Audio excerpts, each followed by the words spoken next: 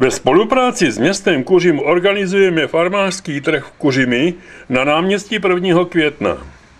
Po zkušenostech mokré varianty byl v říjnu přemístěn na dlážděné parkoviště. V listopadu se uskuteční oproti pravidelnému termínu o týden dříve v pátek 7. listopadu.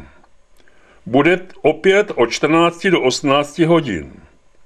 Bude to proto, že další týden je na travnaté ploše náměstí 1. května uskutečňován pravidelný svatomartinský svátek vína, takže dost podobné akce by měly minimální atraktivnost, kdyby byly v pátek i v sobotu téhož týdne.